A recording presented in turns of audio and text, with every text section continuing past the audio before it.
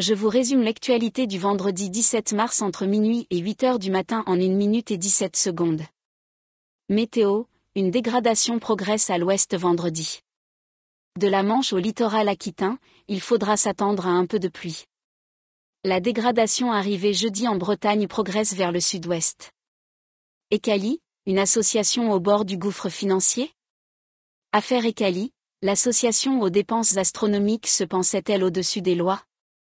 Affaire Ecali, conseil, recrutement, immobilier. L'association épinglée pour copinage. Affaire Ecali, et aujourd'hui, l'association a-t-elle vraiment changé? Affaire Ecali, une résidence d'hébergement d'urgence particulièrement critiquée par les inspecteurs. Accro aux jeux en ligne, il perd 170 000 euros et arnaque des gens sur le bon coin pour rembourser ses dettes.